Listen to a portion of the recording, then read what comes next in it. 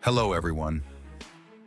Behind the bustling cities, millions of tons of scrap metal are discarded every year. But did you know they can be recycled into useful products, building new structures? Today, we will explore the journey of turning scrap into high-quality construction steel, a story of innovation, sustainability, and people working silently.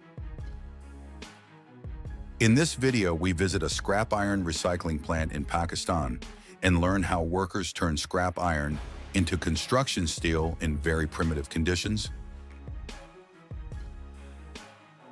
The iron recycling industry in Pakistan is growing strongly thanks to the growing demand for sustainable waste management, resource conservation, and supportive policies from the government. The first step in the metal recycling process is to collect scrap metal.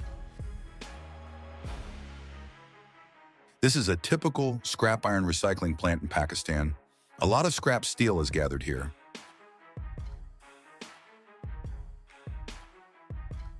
You can immediately see that the workers here do not use labor protection.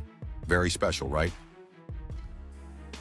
In Pakistan, a significant portion of metal waste is imported, Pakistan imported 455,000 tons of scrap iron from the U.S. last year, making the country a major iron recycling center in South Asia. Workers will manually sort the scrap based on the color and characteristics of the scrap to determine whether it is iron or steel or other alloy scrap.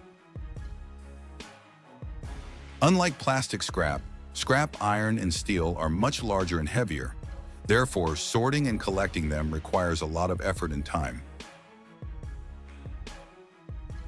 Although it is difficult, this is a job that provides a livelihood for hundreds of families. Their efforts are not only to make a living, but also to protect the environment. After sorting, the metal scraps are transported to the furnace. Workers use wheelbarrows to transport the scrap to the furnace. The furnace is located underground. It looks like a manhole in a house. These furnaces can reach temperatures exceeding 1,200 degrees Celsius, melting the metal into a liquid form. Local factories like this create many jobs for local workers, but pollution and lack of labor protection are major problems here. The melting process will consume a lot of energy. However, the amount of heat needed to melt recycled metal is 70% less than the process of creating metal from raw materials. So to some extent, factories like this can still reduce the damage to the environment. At high temperatures, the bonds between metal atoms are broken and they turn into a liquid state. At this time, impurities such as sand, plastic, wood, will be burned or float on the surface of the liquid, they are removed by scooping them out. Gravel is also added to the furnace to act as a protective layer for the furnace and to create slag. And now the molten metal is ready for the discharge stage.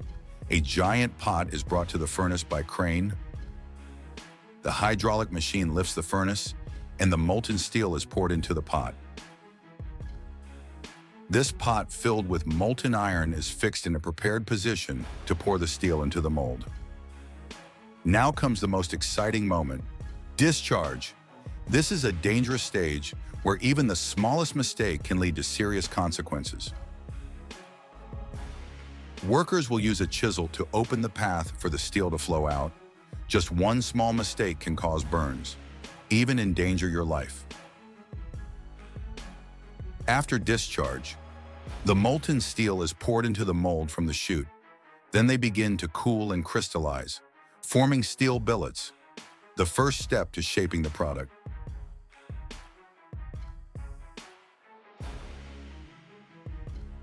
Cooling water plays an extremely important role in this stage. Steel production uses a lot of water, so steel recycling becomes more and more important and necessary. Next, the steel billet is shaped through the hot rolling process, the purpose of which is to reduce the thickness and increase the length of the steel billet.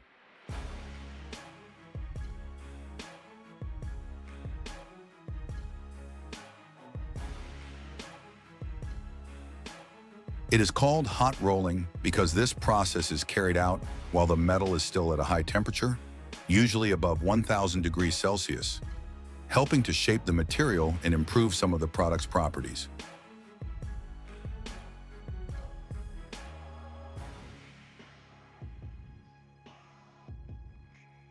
This process helps to eliminate internal defects, such as air holes or small cracks, formed during the casting process.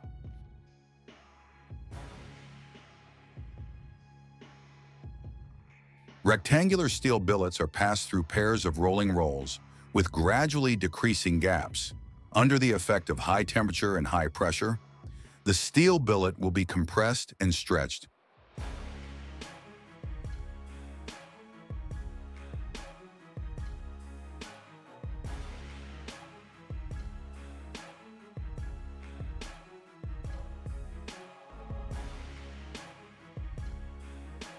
In the final step, the steel billet is put into the rolling roll to shape. At this point, we have the finished product, construction steel. These steel wires are cut and bent to the size and shape according to the needs of use.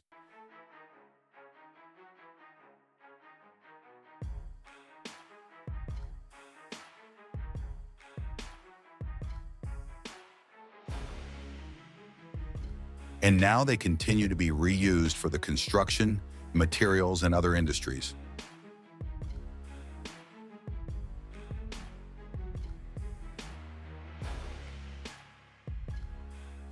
Recycling metals not only saves 60 to 95% of energy compared to mining and processing from raw materials, but also significantly reduces CO2 emissions.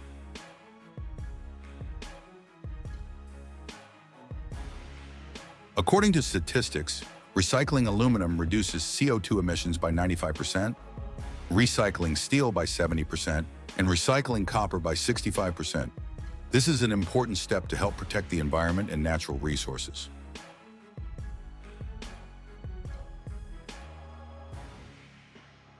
Facilities like these contribute to the local economy by creating jobs and reducing the need to import raw materials, as well as tackling the waste that is everywhere. However, the recycling industry faces significant challenges. As can be seen at this plant, many workers work in dangerous conditions without adequate protective gear. This can lead to serious health problems over time. Recycling metals is not only about turning waste into valuable resources, but also protecting the environment, conserving energy, and supporting the economy.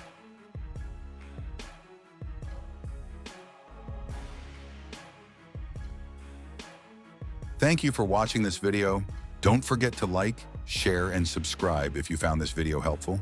Goodbye and see you soon.